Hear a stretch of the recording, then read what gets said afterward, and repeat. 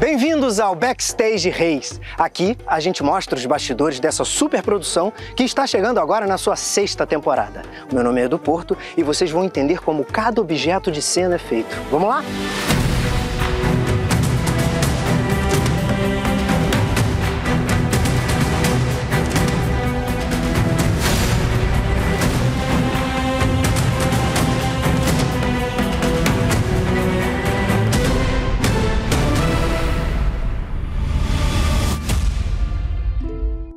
Eu sou Edu Porto, tenho 38 anos, tenho 15 anos de carreira, fiz muitos personagens na casa e quando eu recebi o convite para fazer o Abiatar, que eu comecei a ler a sinopse, eu falei: caraca, que personagem maravilhoso.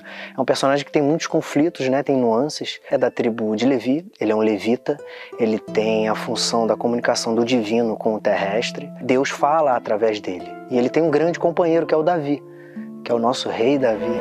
O Senhor diz: vá ataque os filisteus e livre a cidade de Keila. Sabe todos aqueles objetos de cena? Espada, escudo, papiro, faca. Pois é, todos eles começam a ser criados aqui. Vem que eu vou apresentar para vocês o Renato.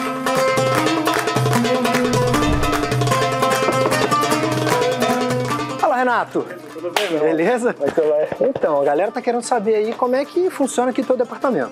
Produção de arte é responsável por criar tudo que o elenco interage aí em cena, né? Isso aqui, por exemplo, o papiro é- é um papiro que vem lá do Egito mesmo. Vem do Egito? Papiro, papiro de verdade. E para fazer isso, você é um trabalho de pesquisa absurdo com historiadores. Existem historiadores que acompanham a novela. Você consegue mensurar o número de pessoas envolvidas? Aqui são 12 produtores de arte, mais 3 designers gráficos, pintor de arte, pintor de lustro, aderecista, serralheiro, marceneiro. As espadas, elas são cenográficas, tá? Todo esse material ele é confeccionado aqui. Então, vou te dar um exemplo. Essa aqui é uma espada, a gente está fazendo de opção para ser a nova espada do rei Davi, né? E todo tipo de armamento que a gente usa no set, ele tem de real, de metal, de bronze, de ferro. Ele também tem um cenográfico para ser usado em batalha, que vai ser de chapa de bambu ou então de um material polipropileno. É que é mais levinho, né? e também para não machucar, né? resistente para não machucar.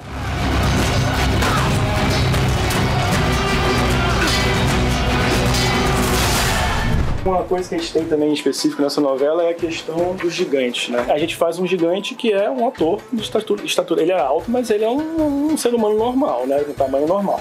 Só que quando qualquer coisa, a parte dele, que é de origem dele, e encosta num, num- num personagem que é um, tem tamanho normal, aquilo precisa ser gigante. Então, por exemplo, quando o ator que fazia o Golias, ele usava Sim. o escudo, ele usava esse. Aham. E ele tinha um escudeiro, precisava carregar o escudo dele. Sim.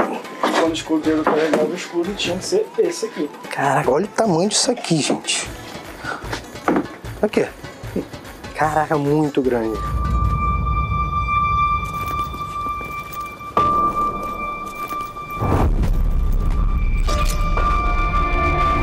Olha quem eu encontro aqui. Mário Brigitte, é meu parceiro.